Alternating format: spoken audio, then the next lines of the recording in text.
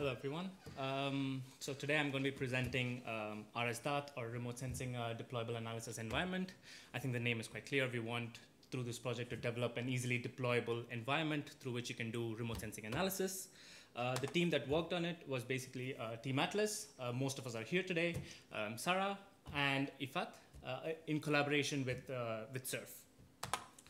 Um, so why RSDAT? I think uh, I don't really need to touch on this point. I think every presentation today has touched on how much data is being produced and how difficult it is getting to handle this data, to analyze it, and to use it. Um, so here I've just shown a, an image of the number of satellites that have been launched or will be launched by the European Space Agency on the left and by NASA on the right. And there's clearly a trend towards not just increasing number of satellites, but also the quality and the size of this data set. So nowadays we have data in the petabyte scale. Uh, they're all high resolution data sets.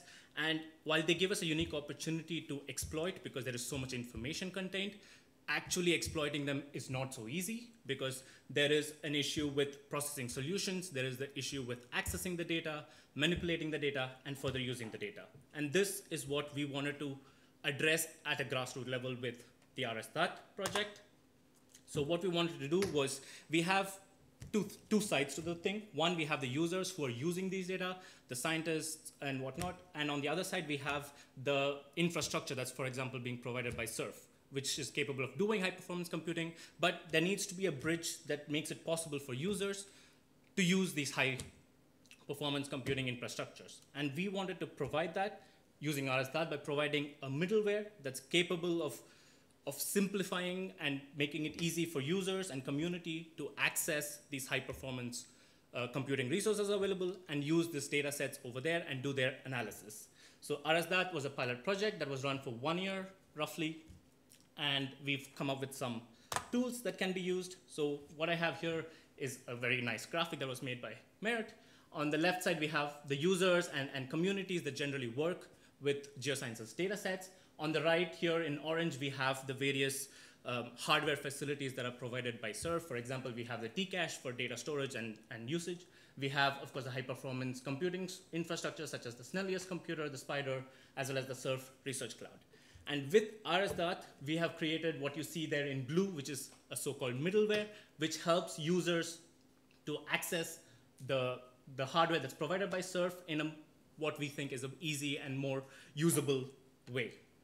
So in, before I go really into what the tools were that were developed in RSDAT, I want to give you a very quick demo. This is in fact one of the projects that was done in collaboration with ITC, the Phenology project, where we wanted to calculate um, the leaf spring index, so the day of first bloom, the day of first leaf, for the entirety of North America over a period of years. So this is going to be a very quick demo because it's sped up. But what we'd like to show you is what we can do. So I'm going to maybe pause it at relevant points. So for example, so let's say now that you have this Jupyter notebook that you have run on your local system, which is capable of doing this processing.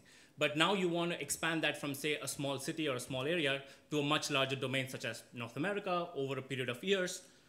It's not going to be possible to use, do it on your local machine. So then the scaling of it to larger cores and bigger systems is important. And what we provide here is an ability to scale your system in a very easy and simple way. So all you have here the Jupyter Notebook, which is currently running on the Snurf, Surf infrastructure. So even though the notebook is there and easily accessible for you to edit, what's being run is actually being done on the Surf infrastructure. So we are now starting to scale this up. We want to call, ask for more workers, let's say 15 workers. It's not as quick as this. Let me So this is sped up. It's not so quick, but you basically ask for 15 cores, the cores get allotted, and then you can do further calculations. I'm going to show you how it's done. I'm going to let this run now just to show you how, how it can work. So we're using here basically Jupyter Notebook with Dask um, using Python. And for example, we're reading a data set for the entirety of North America. And what we're showing here is a sample calculation which is being done for one year. Uh, we have also done this calculation for a period of the entire data set, which is 42 years for the entirety of North America, uh, using 15, 15 cores. And I think that took roughly five hours on, on, on the Surf uh, supercomputer. I think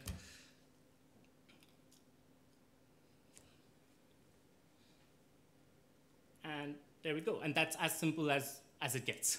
So if you have, for example, Jupyter notebooks, if you have existing scripts and you want to import that and use it on a more scalable platforms, for example, Snellius and Surf, that's what RSDAT can provide for you. I'm going to go on.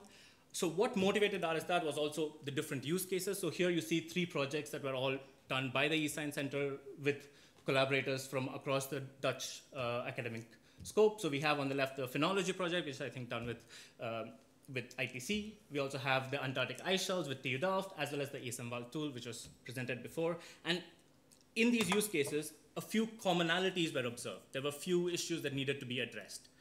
For example, data access. Always, this has been a big issue. How do you access large scales of data? How do you process them? There was also the issue related to scalable analysis. So you have a, a, model or a tool that works locally that is capable of doing these simulations, but then how do you then scale them up? How do you apply them to larger data sets or to larger areas, for example? And finally, the third one that we observed was the concept of containerization, which basically means that you have, say, a workflow that's, that happens, uh, again, on a small thing, but you want to repeat these workflow for, say, ensembles or for multiple number of times. How can you do that in an easy way? And this is what motivated the creation of the RSDAT project, and these are some of the output that have come from the RSDAT project. So this is an open GitHub repository. You can access all of these tools there.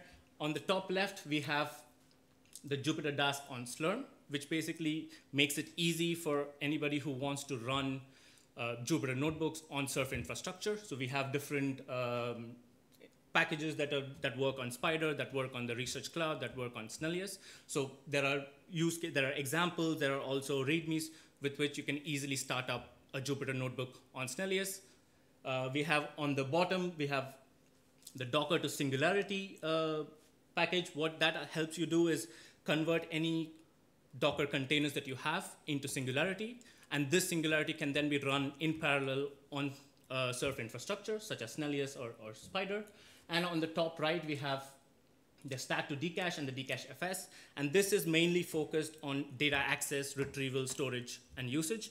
So Dcache is the Surf's uh, tool for storing and using data set. And with STAC to Dcache, we provide an interface that's capable of taking STAC data sets and storing them in Dcache and further reading them and using them.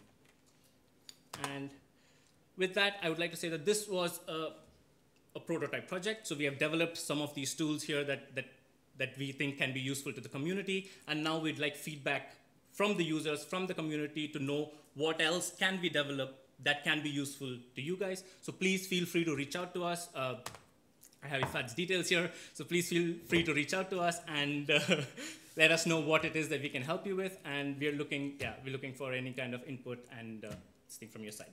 Thank you. Yeah. Thank you, Pranav, for your presentation. Also, call for apply to research goals. So, uh, yes. yeah, that, that's great. Uh, Maybe just a comment that if you are very interested, we can also give a, a, a full demo of the tools that we develop in our staff at Yes, yes. Uh, because surf infrastructure, as you know, as a national infrastructure, is easily accessible, so they provide funding for, for that purpose. And with the RSDAT, it is possible to, let's say, ter terraform, so you can really uh, create your own uh, uh computing environment very easily. So, uh, yeah. Uh, are there any questions regarding RSDAT? Okay. Thank you very much again for your presentation.